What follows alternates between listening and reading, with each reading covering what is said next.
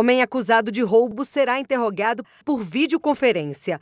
A decisão dos ministros da sexta turma do Superior Tribunal de Justiça foi fundamentada no temor da vítima de prestar depoimento diante do réu.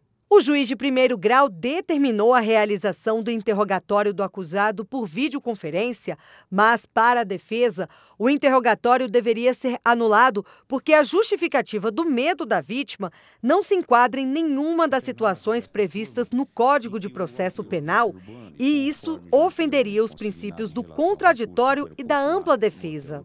A defesa também argumentou que o juiz não demonstrou no processo a possibilidade de a vítima ser influenciada pela presença do acusado, que a oitiva da própria vítima poderia ter sido feita por videoconferência e que o réu poderia ser retirado da sala de audiências.